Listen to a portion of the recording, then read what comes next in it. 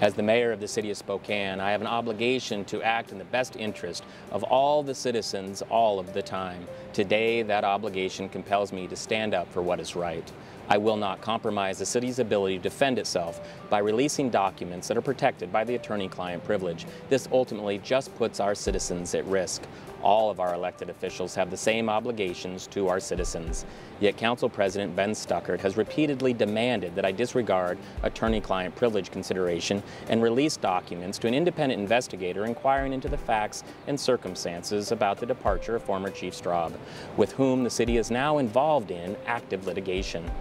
Last week, the Council passed a resolution asking me to appoint yet another lawyer as a part of the inquiry.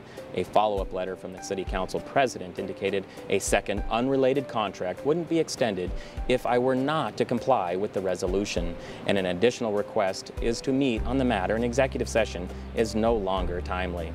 Earlier this year, the council president declined at least two offers to move this process forward by appointing a special counsel to oversee the investigation. We're now too far along in the independent investigation to upend the process.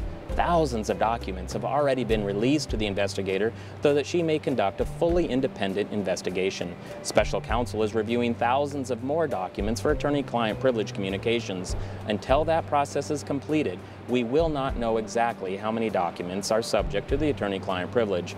All documents not under the protection of the attorney-client privilege will be released to the investigator. I look forward to seeing the final report and I will use it to assist the city in going forward. I am sure there's processes and procedures that'll be reviewed that need to be revised in light of the findings. But to the extent that this investigation to include, would include documents and content that may compromise the city's ability to defend itself at even greater expense to the taxpayers is unacceptable. I've long been convinced that Mr. Stuckart and others have had a political motivation in their criticism of my handling of the matters surrounding Mr. Straub. Recent disclosures of public records support my contention. Nonetheless, by demanding the release of attorney-client privilege documents, Council President Stuckart places his political agenda above the public interest, with the additional threat to eliminate funding for the city's legal defense in the Straub litigation, the financial health of our city and the many services we provide are at risk. Mr. Stuckart's demand is dramatically beyond the limits of what reasonably a prudent officer of the city should do to protect the taxpayer from unnecessary liability.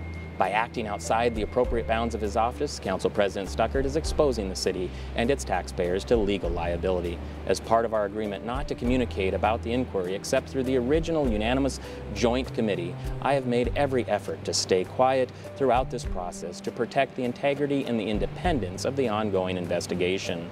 However, at this juncture, my obligations as the city mayor are paramount. As those entrusted by the public to carry out the city's business, we have an obligation to perform our duties prudently and in good faith. I have done my best to do this while balancing transparency, good governance, and my duties as the city's mayor. I am calling on the council members to take the same approach. Our work must be about making Spokane the city of choice for today and tomorrow.